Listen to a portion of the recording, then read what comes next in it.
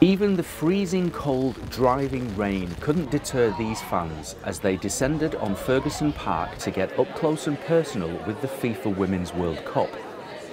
We are so, so excited to be here today and we're so happy to be sharing um, this special moment with the FIFA Women's World Cup original trophy. One, two, three.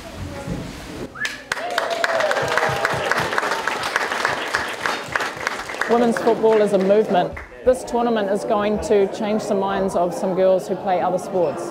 With just one month to go until the opening ceremony in Auckland, Otumoetai Football Club was lucky enough to host the Tauranga leg of the official trophy tour. Families lined up to pose for a picture with the cup that will be lifted by the winning team on August the 20th the opportunity to actually see something that's going to be travelling around the world and going to be watched by people all around the world, just to come to little old Tauranga, it's huge, yeah. Is this a big deal for your kids? Yep, they've been um, to a few football games, but this is the first, we're going to the first one in Auckland. I've always been a big fan of football, and this is kind of a one once in a lifetime opportunity for me, and it really excited me that it was really close to our home. And are you looking forward to the tournament starting? Definitely. It's going to be quite exciting for me.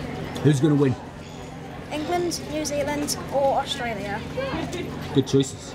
It's a really cool opportunity for the people of Tauranga to see what's about to hit their shores and to pop over to over the kaimais and and see some amazing football. a lot of people have come here to see the trophy, to see what it's all about, and just really inspire them to get along to see this amazing event. Who just signed your football? Um, some of the uh, famous football players. And are you looking forward to the World Cup? Yeah. Who's going to win? Um, New Zealand. The women's tournament is expected to be watched by a global audience of around 2 billion people. 32 countries are coming down here. It's, it's played in 206 countries.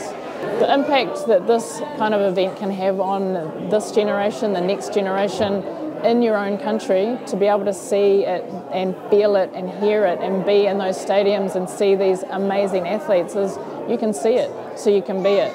I didn't have that growing up. When I was growing up, I had the Men's World Cup, and that's what I aspired to, but I knew I couldn't get there. But all of a sudden in 1991, the first inaugural Women's World Cup happened, I was 15 years old, and that inspired me to carry on because all of a sudden I could make a World Cup. 1996, all of a sudden I could be an Olympian in that sport.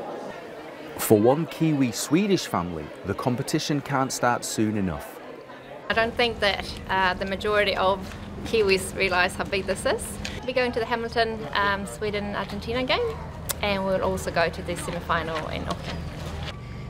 The World Cup's like the best um the best football playing um teams in like the whole world and then we get to go see it. It's just amazing.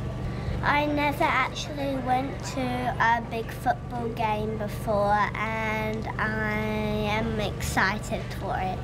I'm excited to see who wins. It's so excited. And what team do you support? Sweden. The official trophy tour started in one of the host cities, Hamilton, before making stops in Tauranga, Taupo and Rotorua. This is the biggest female sporting event in the world. Um, we've got an estimated 2 billion viewers watching this tournament. It's all about inspiring young girls and females in sport, like reach your goals, achieve your dreams, and yeah, the amount of people that we got here today is fantastic. But if you want to touch the trophy, you're out of luck. You're only allowed to touch it if you've won it. The original FIFA Women's World Cup trophy comes with its own team, so they travel around the world with the trophy. So it's got security and then managers. Even the official mascot came along for the ride. We've got our mascot here today as well, Tazuni. So she is the penguin, so she resonates with both Australia and New Zealand as the blue penguin. Five games will be played just 90 minutes away from Tauranga at Hamilton's Waikato Stadium. For match schedules and ticket details, check out hamiltonhostcity.co.nz. Gavin Ogden, Local Focus.